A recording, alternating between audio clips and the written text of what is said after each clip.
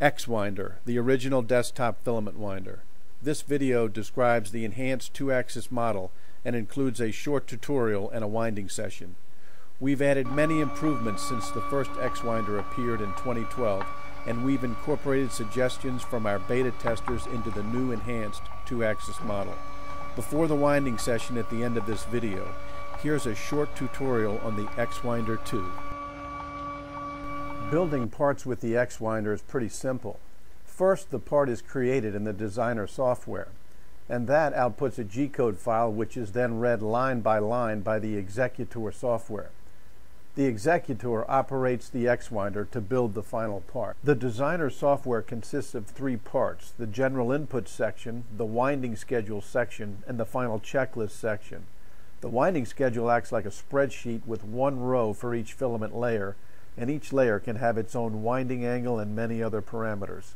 The final winding checklist can include five distinct steps, including two pre-wrap steps if desired, the winding schedule itself, a heat shrink tape step to compress the part and squeeze out the excess glue, and a final heat gun curing process if desired. The designer then creates and outputs the G-code file. G-code is the most widely used language for numerically controlled manufacturing machines. It's a simple text file that contains line by line build instructions and it's open source by definition. The executor operates the X-Winder to build the final part. The operation of the X-Winder is displayed in real time and indicates the details of each build step. Both programs run on a Windows PC or a Mac with PC emulation software. The X-Winder 2 can be purchased in whole or in parts. You can buy the control box with electronics and software as a standalone product. The frame and carriage parts can be added as a second standalone product, or you can buy the X-Winder 2 with the required stepper motors, belts, and gears included. Since larger mandrels require more motor torque, there are two motor size options available. The X-Winder 2 XL version ships with NEMA 17 geared stepper motors and can handle mandrels up to 3 inches in width. The X-Winder 2L version ships with the larger NEMA 23 geared stepper motors and can handle mandrels up to 8 inches in width. The X-Winder does not ship with the long bars. This lowers the kit and shipping costs and also gives you the flexibility to make the X-Winder frame as long or as short as you'd like. The long bar should be either 1 by 2 inch or 1 by 3 inch aluminum T-slot extrusions. These extrusions can be obtained in lengths up to 20 feet long from any number of suppliers including Amazon, eBay, and 8020. For a 6 foot long X-Winder, you'll spend about 100 US dollars for the long bars. The X-Winder can build from two types of mandrels, removable or remain in place. Mandrels are not provided with the X-Winder kit. Removable mandrels can be purchased at the local hardware store. PVC or aluminum extruded parts are recommended. Removable mandrels can have a constant convex cross-section or can have linear taper from one end to the other. The final cured part is slipped off and removed from the mandrel after curing. Soluble 3D printed mandrels can be more complex in shape and removed by dissolving in a chemical solution such as sodium hydroxide. Look for a future video on this topic. Remain in place mandrels need to be built from a rigid material and since removal is not required, these parts can be more complex in shape. Thin-walled 3D printed parts can be used as mandrels. If the final part is heat gun cured or cured in an autoclave under heat and pressure, the mandrel material should stand up to these rigors. The mandrel is supported on either end by the left and right mandrel chucks, and each layer can be offset any distance from the chuck ends.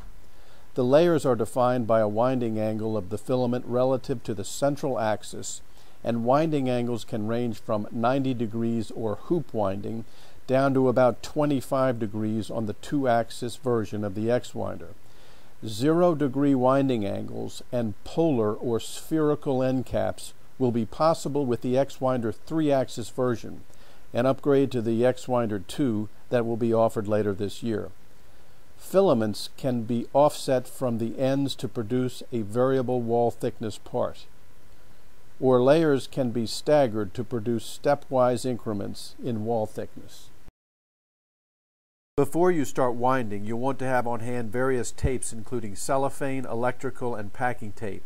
If you are doing a pre-wrap over a removable mandrel, you'll want cash register tape, which is basically 2-inch wide light bond paper on a roll that you can get from any office supply store. Although not required, heat shrink tape can be used in the final curing process to compress the winding layers and squeeze out any excess glue. Make sure you don't confuse heat shrink tape with heat shrink tubing. They're not the same. A heat gun for the heated curing process. And for cleanup, you'll want paper towels or sanitary wipes. We'll only need a few of these as cleanup can take less than three minutes following the winding procedure. Epoxy resin and hardener. There are many commercially available choices, but you'll want to make sure that the pot life of the glue, that's the time before the glue starts to gel, is longer than the winding time of the final part.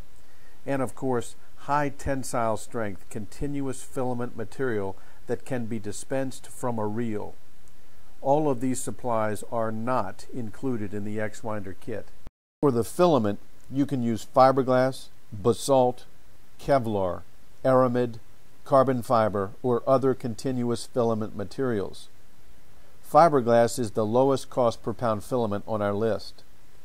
Basalt filament is processed from volcanic rock and is slightly stronger than fiberglass filament, although a bit more costly.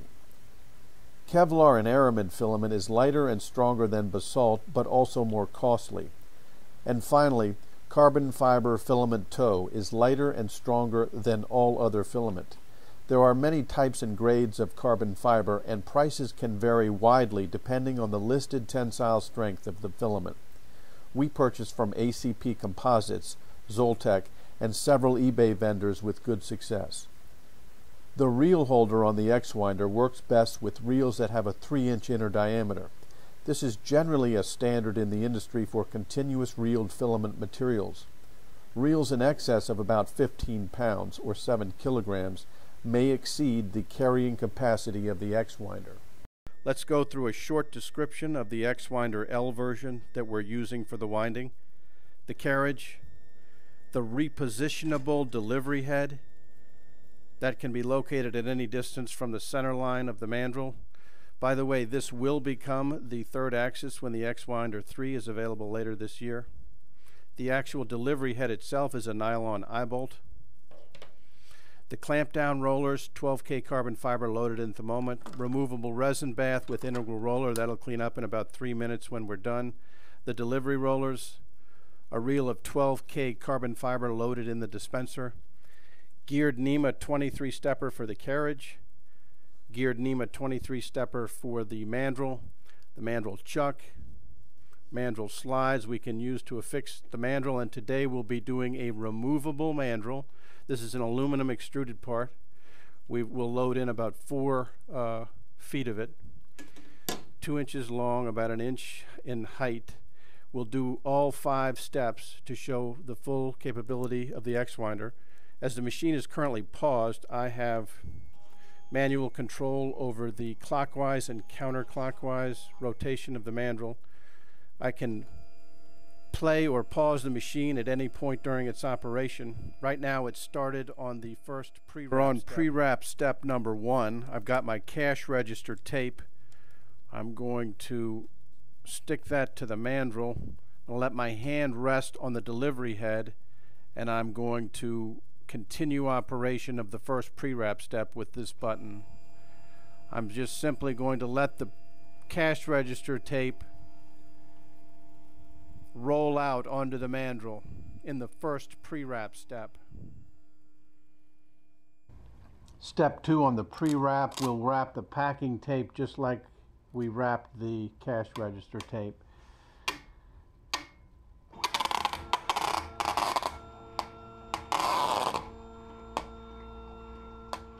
The machine then resets itself back to begin the winding process.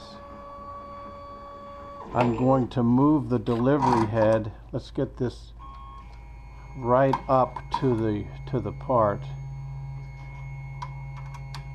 And I'm going to secure that and we're about ready to start the winding process. So I'm going to put just a little bit of glue in there for starters. And we're going to hit the play button and we'll start the winding process. For the part we're building here, there are three filament layers with 45, 75, and 35 degree winding angles, which will give us a final wall thickness of about 48 thousandths of an inch or about 1.2 millimeters. The winding time, not including other steps, was only 17 minutes for this part.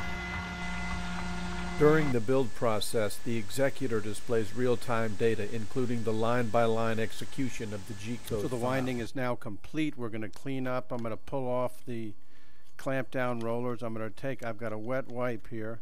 Just simply going to wipe those off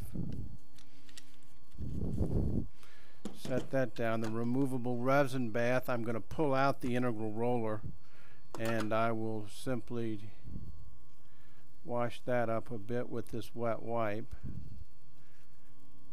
Make sure the integral roller is okay.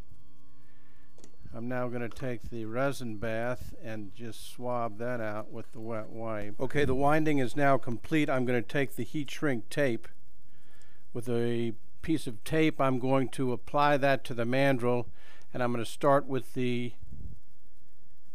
heat shrink tape application. I'm going to rest my hand here on the delivery head and just go right down the mandrel. Giving it a little bit of tension.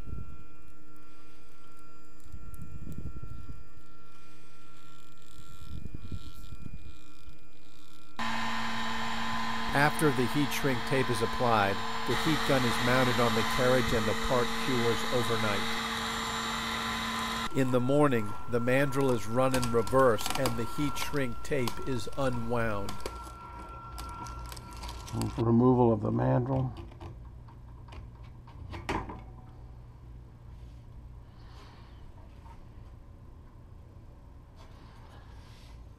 The final part can now be extracted from the mandrel the paper layer of cash register tape allows the part to slip off from the mandrel.